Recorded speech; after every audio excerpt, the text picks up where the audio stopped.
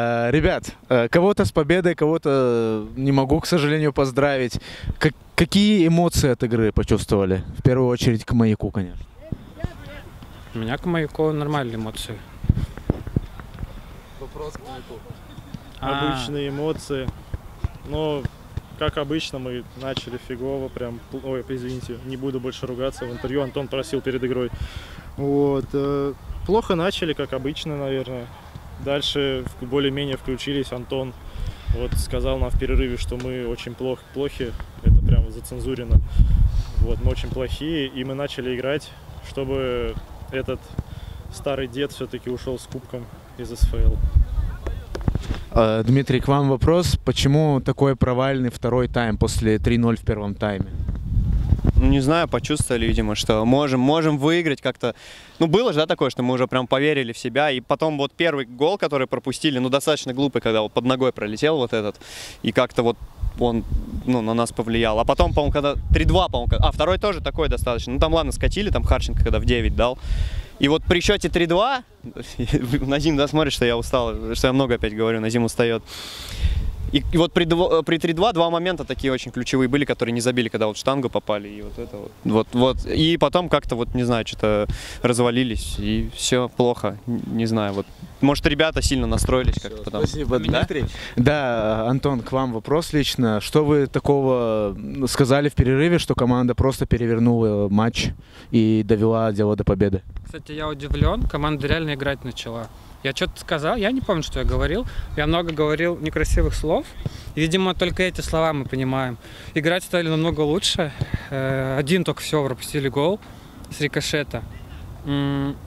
Круто, да, заиграли. Концовка мы первый, первый тайм вообще ни гола не забили. Второй тайм 4 забили или 5. Пять. Ах, Пять голов забили. Всего один ответил, а синтез. Ну, какой еще? Что я сказал им? Я сказал, давайте забьем 5, а пропустим один. И как видите, а, мы так и сделали, да. Знаете, эмоции, эмоции после игры. Всех переполняют обычно эмоции. Будь позитивные, негативные. У кого-то там бабочки в животе, у кого-то еще где-то там чешется что-то, да. Там где-то свербит, кто-то что-то сказать хочет. Например, вы идете на третьем месте, вроде ни на что не претендуете, выигрываете 4, какой счет был тогда? 4-3, 5-4, и ты там вроде здоровый, да, пацан, 20 лет. Как его зовут? Как, как его зовут? Максим, фамилия? Максим Петренко тебя зовут, и ты позволяешь себе... Ты ни на что... Это что? Это Лига Чемпионов у тебя? Это у тебя финал какой-то? Нет, это просто матч. Просто матч на стадионе со старыми пердунами. Ты, если бы обыграл, тут гордиться-то особо нечем. Ты не обыграл. И ты забиваешь гол, идешь и кричишь на все поле. Вынимайте, вынимайте, я, я лучше. Похоже на, на ложь, по-моему, немного, нет? Ладно, ну вынимай, вынимайте, вынимайте или вынимайте. Ну, если ты не слышал, значит, ты игрок синтеза. Тут по-другому никак. Это нельзя было не услышать. И потом, ну, конечно, я некрасиво поступил. Когда мы выигрывали там 5-4, я ему кричу, вынимай, вынимай, и человек начинает злиться. Почему ты злишься? Если ты кого-то провоцируешь, если ты кого-то там пытаешься оскорбить, задеть, будь готов, что и тебя будут так же. Тебя не будут в жопу целовать. Тебе 20 лет, и ты после игры, ты не хочешь, ты уходишь, ты толкаешься, пихаешься, говоришь, я, ух- я ухожу.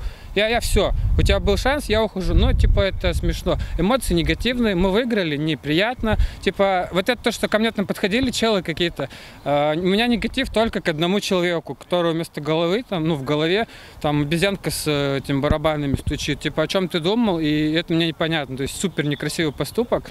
Вот, дальше как хотите, что хотите, то делайте. А, к игрокам синтеза вообще никаких претензий. Кого я срубил, я сразу говорю, я поднял его и сказал, извини. Там всем было понятно, что я этот фол делал. Не потому, что мне неприятен человек, а потому, что он бежит гол мне забивать. Чтобы он гол не забивал, я его срубил и извинился. Все, все, моя точка зрения. А чел, который валяется, тут кувыркается, ноет, есть же камера, тебе же на камеру снимают, там и твои крики, то все там есть, чел, ну о чем ты?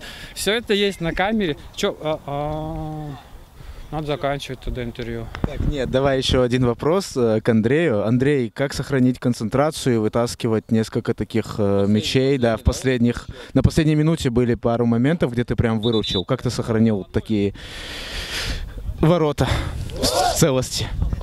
Э, Просто Дома мне, меня ждет девушка, она сказала, если вы проиграете, ты опять приедешь злой, я тебя уничтожу. Не будешь ночевать дома? Не будешь ночевать дома, она сменила бы замки, вот пока я еду до, до, до дома, хотя ехать 5 минут, вот. Поэтому я подумал, что, наверное, стоит отбить этот мяч, и чтобы потом в интервью Дмитрий Редковский меня не опускал. Дима, когда начнем забивать? Я лично или команда когда? Ну, сегодня не получилось, сегодня пытался опять э, в роли ассистента быть. Вот. Тоже не получилось в этом плане. Вот так вот. Ну и зачем Андрею забивать? Я же когда-то в интервью сказал, что не буду забивать маяку. Вот вы обнялись в тему вообще. Т- СФЛ это территория добра, мира между командами. Все, закончили интервью, спасибо.